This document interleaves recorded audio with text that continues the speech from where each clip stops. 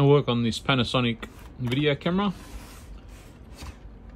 It is a AG HPX175P.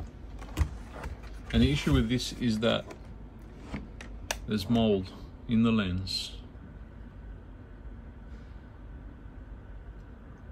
So you're gonna have to strip this down and clean it out and get mold off the optics. The only way we can access the lens is through the back. Um, nothing comes off through the front, only the barrels come out, but the actual optic inside to access it, the screws are in the back. So we're going to strip this down and clean it out and hopefully it turns out nice and clean. Got the lens out.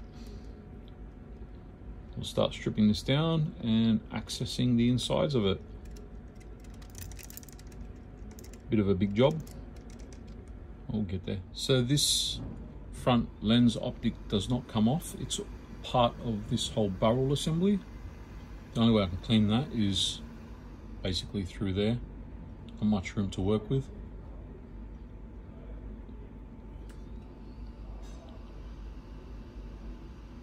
Got it as clean as possible. We'll put this all back together and get it going again. So got the video camera back together and the lens looks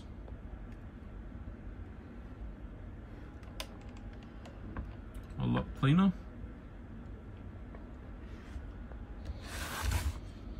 Switch it on, make sure it still works.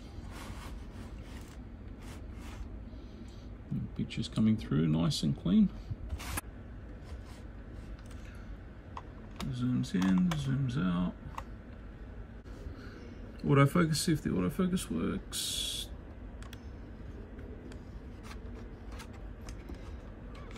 We'll zoom out.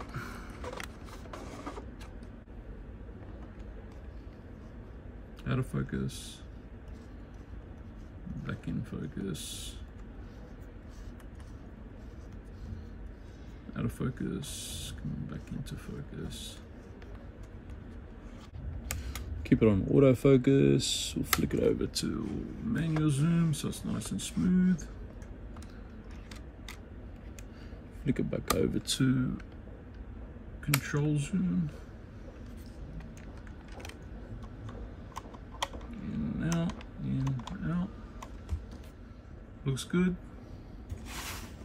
Give it a bit of a clean contact the customer, you can pick it up, it's all good to go. Works perfect.